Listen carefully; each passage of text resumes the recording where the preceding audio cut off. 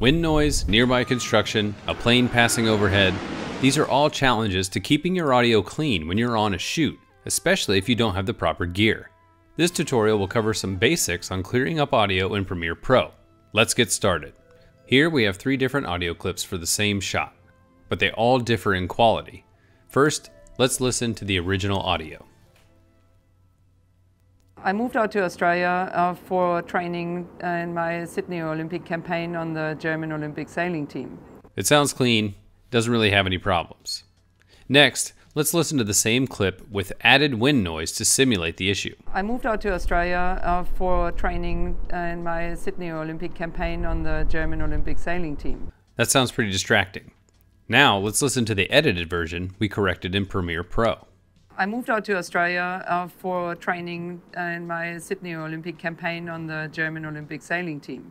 Definitely not as good as the original, but way cleaner than before. So, how do we get to this point? Let's go ahead and start from the beginning. I moved out to Australia uh, for training in my Sydney Olympic campaign on the German Olympic sailing team. It sounds particularly bad at the end, so let's focus on that section of the clip. You can right click and press mark in at the start of the section. You can also press the I button.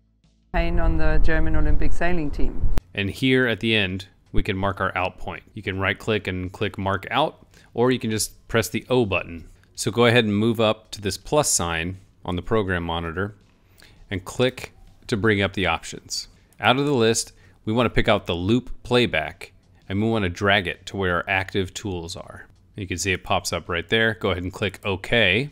It usually won't be toggled on, so go ahead and click to toggle it on. Now, go ahead and press play again. Pain on the German Olympic sailing team. Pain on the German Olympic sailing team. So you can see it loops now, which will come in handy while we're editing this video. Next, let's go over to the Effects tab and find the High Pass filter. Drag it onto the clip audio and access the Effect Controls tab.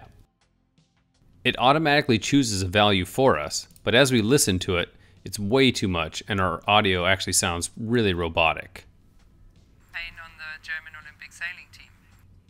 So we're going to set ours to 160 hertz. That's a good number setting for our audio, but it may be different depending on your audio. So go ahead and play around with this tool to find that sweet spot.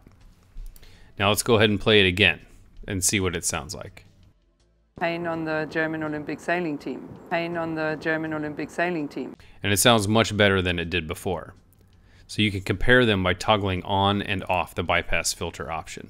Pain on the German Olympic sailing team.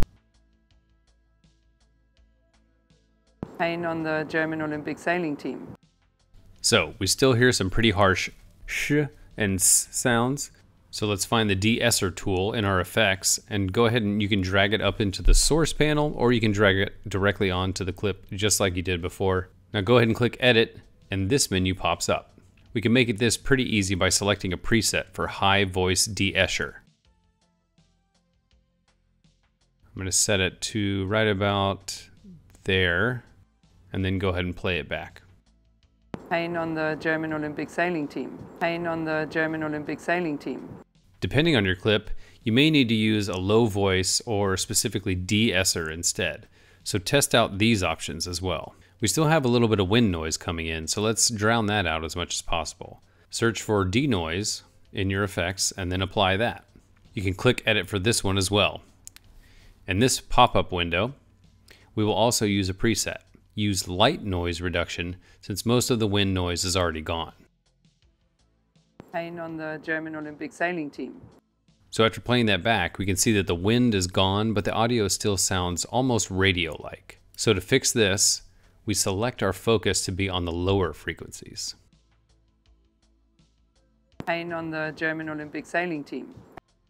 Pain on the German Olympic sailing team. Now when we play it, you can see that it sounds much better. We can work with what we have so far, but there's still more we can do to improve the sound quality. Let's search for a parametric equalizer. Drag and drop that into your source panel just like the other ones. This tool is great as it gives you full frequency control for your audio. You can see all the lower and higher frequencies.